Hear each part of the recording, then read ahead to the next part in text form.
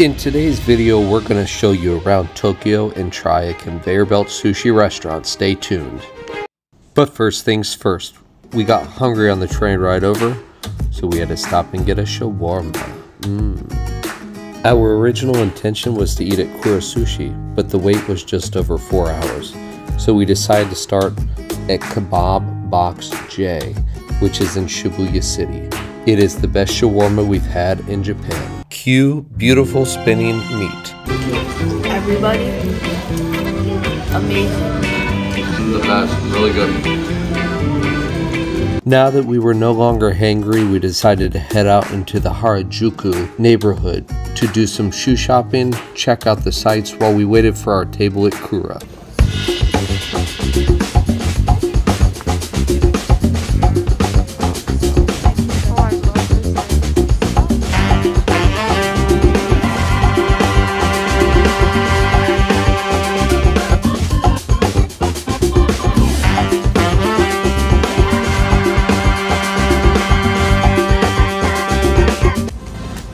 It was finally time. Let's head over to Kura for some conveyor belt sushi.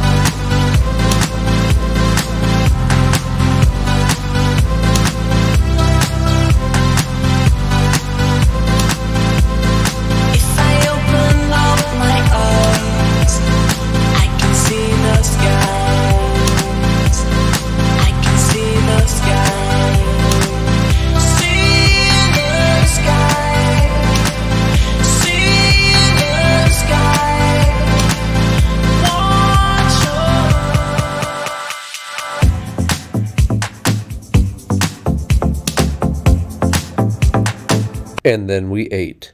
Let's check out some Kura sushi. Hello, everybody. Simply Schmidt here, and welcome back to another amazing episode in our second episode of our new conveyor belt series. If you haven't seen our Sushiro one, we'll put a link to that video in the description. But we're going around all of Japan comparing different conveyor belt sushis since the Sushiro one blew up so much. So make sure to go check out the playlist. This will be the second episode.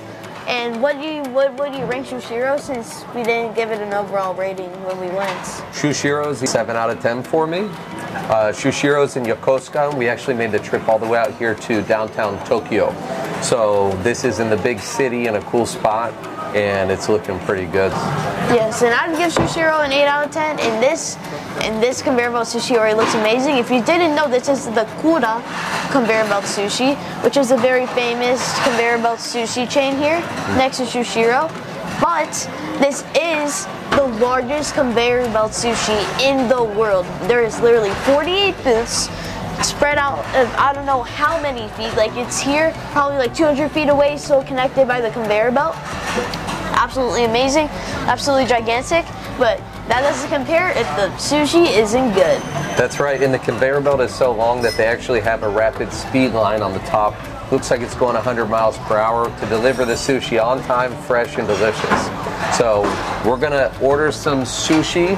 Uh, we're gonna see what the differences are, and we'll go from there. Remember, as we start, to like and subscribe, hit the notification bell so you can follow us whenever we have new videos that come out. Agreed, definitely do that. But now, let's order.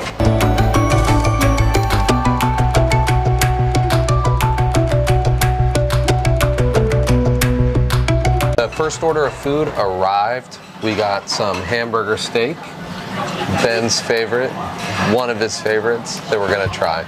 Yeah, so this is a hamburger steak with a demi-glace sauce with some cheese, so it's a cheesy demi-glace. The hamburger steak. So, let's go ahead and give it a try. Cheers. Cheers. Mm. So the first thing I'll say about it, the rice is really, really good. The burger is very good too. But I like the rice a lot. How about you? The, the rice has almost like a special type of flavor. I don't know how to explain it.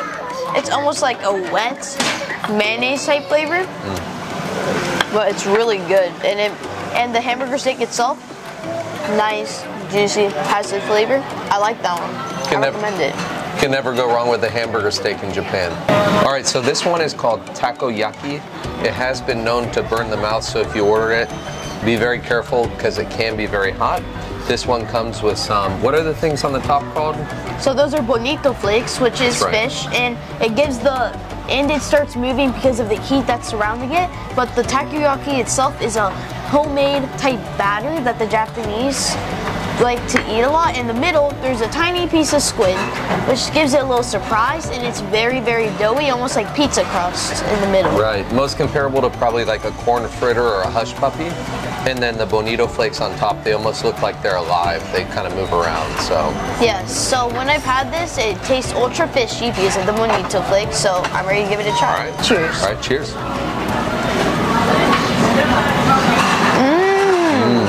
Really like about that one is it's not flaming hot, so you can really taste all the flavors and not burn your mouth. But it's a great flavor. Very good. The flavor is like exactly like you said, a hush puppy. Mm-hmm. It's literally the definition. But all the other ones I've had, they're always so fishy. This one isn't as strong in the flavor, which I like because I don't like extremely strong ones. But that's so, so good. Yeah. I recommend this one. Me too. Highest recommendation. So the next one is a piece of unagi, right? Unagi eel, and it's actually a monster piece. It's very big.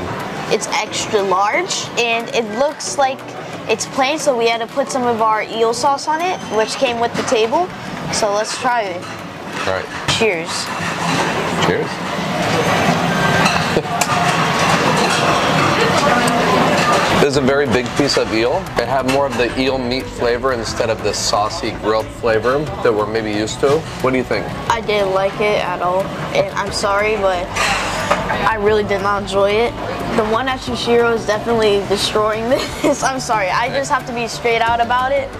This is like a dry piece of chicken if it was a fish. It has a very more down to earth flavor, and you can literally taste the bones more than the other one. I don't know why, but easily not my favorite. But the coating that it gives the rice, I like. I like the rice itself with the coating for the eel. Yeah, so if you're comparing restaurants, Sushiro is the highest quality. I really have never had any issues with any of the food at Sushiro, but agreed, the eel, definitely not as good as Sushiro eel. Alright everybody, so here we have the shrimp tempura, which is in a nice tempura batter like every other tempura, which is the, one of my favorite batters. And it looks like, I hope it's a fresh shrimp. And then we put some eel sauce on it because that's our favorite.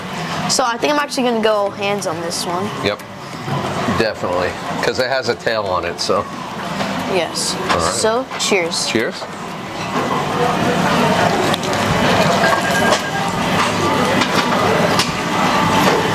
Mm. The batter's very light. The shrimp does taste fresh and good. Very flavorful, sweet. The batter tastes like oil, but the shrimp is really good. I was not a big fan of the batter. I'm so yes, I like I usually like the batter, but this one just fell straight off. And I'm not a big fan of that. I mean if you like to just take it off, then I like that, but I wasn't a big fan of the batter myself. So But- good shrimp, bad batter. Alright everybody, so next we're moving on to two slices of pork. It looks almost like bacon, but it has a bit of fattiness. Looks pretty good. Are you ready, Dad? All right, let's do it. Cheers. Cheers.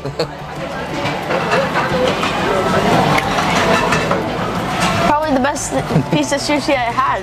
That's amazing pork. Something you'll notice in Japan is you'll never find a piece of crispy bacon, but the flavor is pretty good on the pork bacon that they have here. So that was kind of like a piece of bacon on top of a little mound of rice. Very good. I would not consider that bacon. I considered it more of a marinated slice of pork. Yeah.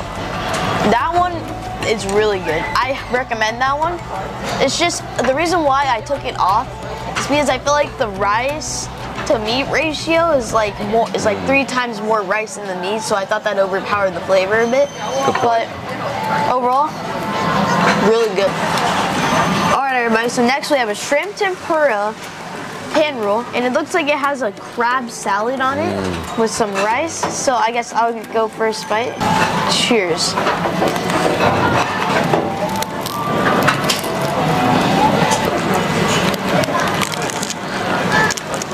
The flavor is actually really good on that. It has like a lot of mayonnaise, but I feel like mm-hmm. it complements the shrimp and rice really well. Although that's the same shrimp, I taste more of the shrimp itself than the tempura.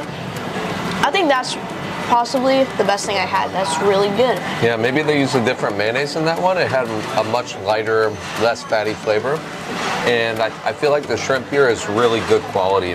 The actual shrimp itself has a really good flavor. He loves fried chicken. He loves karage in particular, Karage. Japanese fried chicken. So Yes. that's what we ordered. This one has a little bit of sauce on it.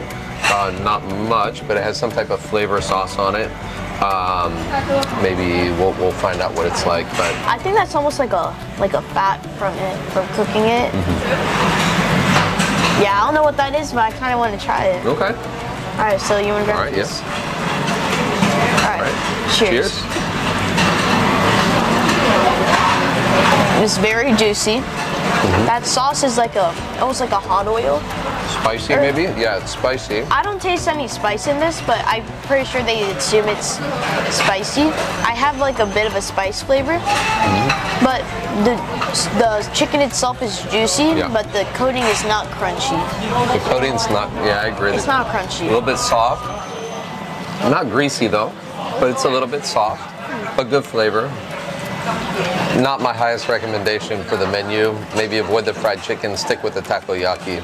But it's it's okay. I didn't think it was that bad, but it's not the best I've had. I've had way better. All right, everybody. So here we got two mochis. Since this year, 2023, is the year of the rabbit, they have a rabbit-themed mochi. Then here they have another mochi, which is a New Year's themed mochi, which has a mandarin orange on top of it. So which one do you want to try first? Uh, let's try the rabbit All right, let's try the rabbit. in honor of the year of the rabbit here in Japan. You want to do a bite from each end? Yeah. Oh no.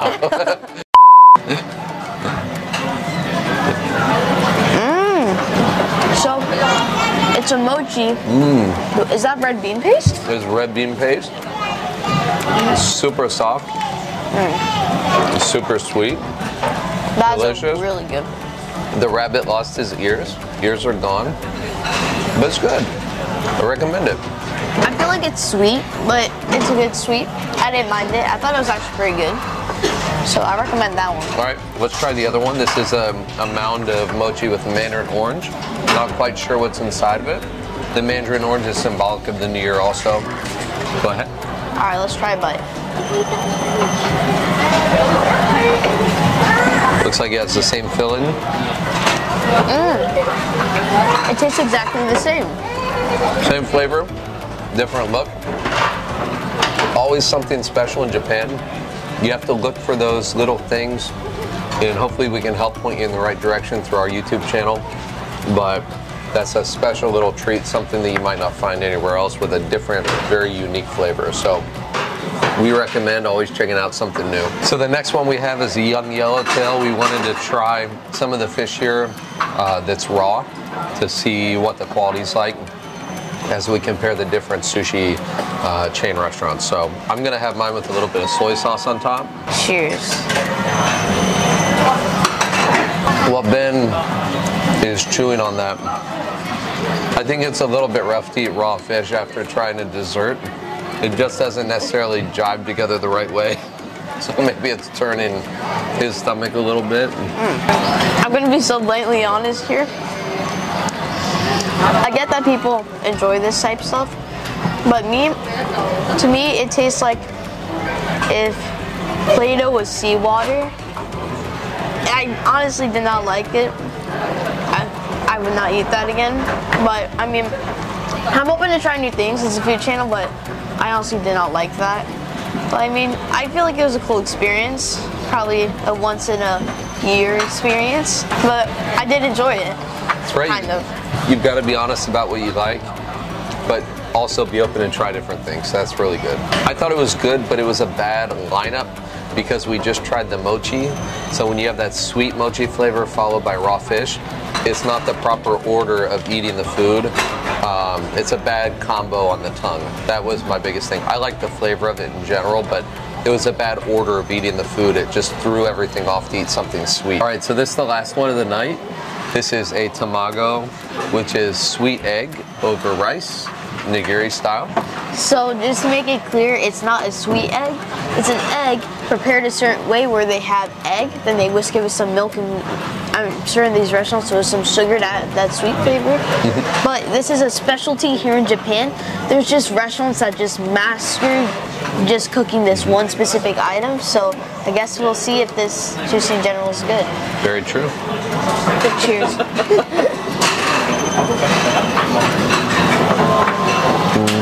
right, so note to self in the future, the sweet soy sauce or the eel sauce does not go well with tamago. It does didn't mix very well, so, But uh, but that's our bad. So sometimes at the end of a meal, you just have to have something sweet. So we decided to order some crepes, which are very famous and good in Japan. Yes, and I got a strawberry crepe. It looks like a sorbet with some whipped cream and pistachios on top. And what did you get? I got a banana chocolate with some sorbet and whipped cream and pistachios. Cheers.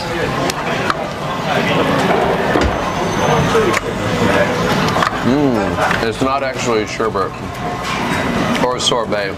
It's custard, which is also very big in Japan and very delicious. I'm a big fan of this one. Custard in Japan is like amazing. The best custard, better anywhere you go. Wow. This is amazing. I love this. So we see you right there, and we know that we gotta give you our rating for Kura. What do you think, Dad? So kura was probably the worst sushi go around I've ever had in my life. We did have some good things to say about the sushi. We're thankful that we have food to eat and that we're able to do this. But being totally honest, I would try to find maybe another local sushi restaurant uh, to go to. It's a good time, good pace, good crepes. Not everything's bad, but overall I give it about a 5 out of 10. For me, I thought the sushi was, how can I put this lightly? Horrendous. Some of it was. I didn't like the eel. It wasn't horrendous. I thought I'm grateful that we have to. I just much rather have spent this money at Shushiro, which is definitely a must try. This I do not recommend, but I do recommend one thing: those crepes. The crepes were like a special fruit crepe. I would just come here for those crepes. One of the best crepes I've had in Japan. And the scenery is nice, and all the shopping and everything here is one, one of my favorites. So I would rate this a 4 out of 10. Okay. It has some good aspects, but I really did not like it as much as the other one. So, Shushiro is still the reigning champ over all conveyor belt sushis. Although it's just two episodes in, Shushiro is still amazing. You guys know what time it is. It's the end of the video, so make sure to like, subscribe, hit that notification bell so you know when these videos come out, when they come out. And if you just want to see what our family is doing on our daily lives, then make sure to go check out our Instagram account at Simply Schmidt. And if you just want to see the family having some fun, then make sure to go check out our TikTok account, Simply Schmidt.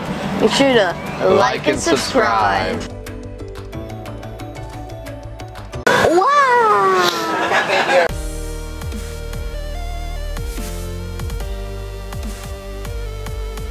Everybody, so now we're gonna play the Kura game, which is every time you put in five plates, it comes up on the tablet about if you if you're gonna win the game or not. It's kind of hard to explain. It's like a cartoon and then it's like an animation. Then you rather win or lose. And then if you win, you get a cool prize from up here, which is like a capsule. So let's put in one at a time. One, two, It's gonna show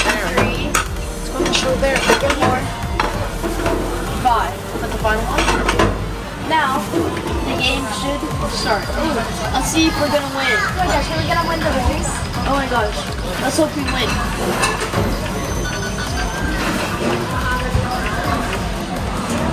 Oh no, he's gonna cheat.